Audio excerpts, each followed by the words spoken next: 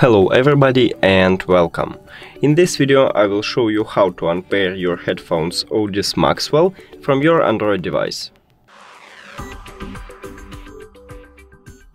You have to start by open settings, then go to connected devices or Bluetooth. Now click on settings icon near to your headphones, then click forget and forget device. And we just did it! Thank you for watching this video. If you found it helpful, please consider subscribing to channel and leave the like on the video. It's really important to us. See you later!